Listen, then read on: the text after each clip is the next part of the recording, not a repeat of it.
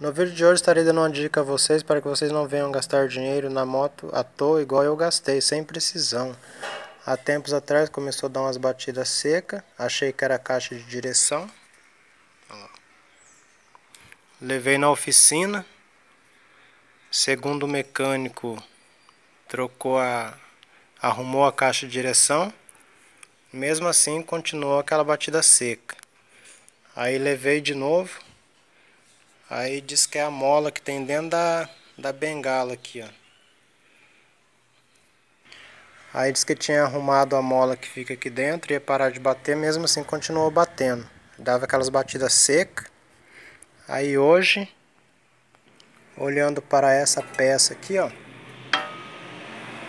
Esse aqui é um protetor.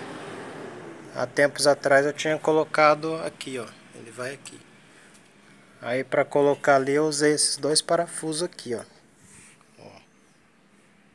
Que é mais fino que o original, que vai ali. Aí retirei os dois parafusos. E coloquei o original. Acabou o problema. Aí agora eu vou tentar abrir mais esses buracos aqui, ó para que passe o parafuso original.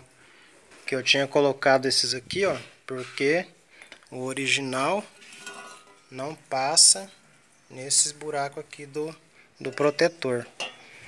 Então aí fica a dica, se a sua moto, se você colocou esse protetor aqui começou a bater seco, tenta retirar ele e colocar só o parafuso original e dá uma volta para ver se resolve. No meu caso resolveu. Mas resolveu tarde, né? Porque eu gastei dinheiro, né? Gastei, gastei dinheiro com a caixa de direção, gastei dinheiro na, na bengala e não resolveu nada. Aí eu mesmo resolvi aqui em casa mesmo. Tá aí a dica então, até um próximo vídeo, tchau!